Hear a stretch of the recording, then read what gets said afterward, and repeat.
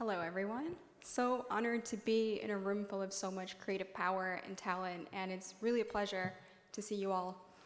My name is Salwa, and I'm a 2014 ISF recipient. And since receiving this support from ISF, I've worked as a producer on a digital series called The Secret Life of Muslims, which some of you may have watched. The series uses humor and empathy to subvert stereotypes or misperceptions about the American Muslim community. And since releasing its first season, it's been wildly successful. It's been nominated for an Emmy, Peabody, and most recently, the International Documentary Association Award for Best, Best Short Narrative Series. And it's also won the Goldizer Prize.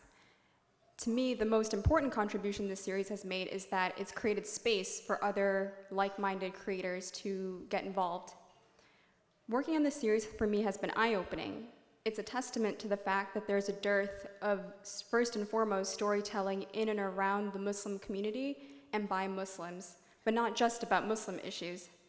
It's also challenged the way that I think about the way Muslims are represented in the mainstream media, but also how the way Muslims call for their own representation. It's my personal and strategic estimation, a calculation you may call, that we must look to our community when we tell stories to, to avoid being relegated to the sphere of identity politics alone and the politics of respectability. And what I mean by respectability politics is it, it's essentially referring to attempts by marginalized communities trying to police own members of their community in order to fit in with what is the normal narrative. It's therefore our task to create representation that rises to a true diversity of who we are and the authenticity of our narratives both domestically and globally.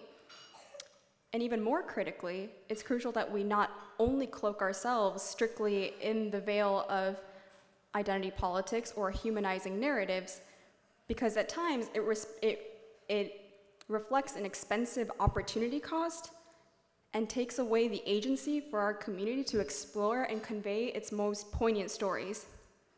In the next nine months, I'll be embarking on an independent short documentary that follows a Native American activist whose ancestral homelands between Utah, Colorado, and New Mexico have been degraded by the oil, coal, and uranium industries, and what the relationship between Native people or First Nations is with their land.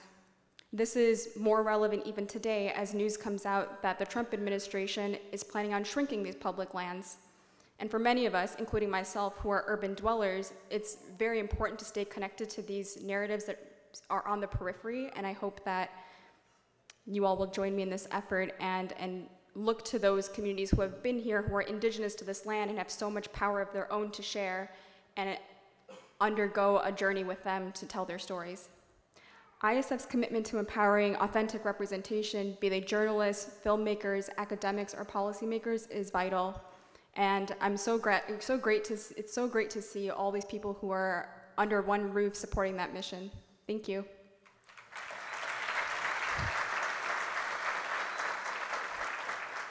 I would now like to introduce to you the president of ISF, Dr. Hamid Rezapour.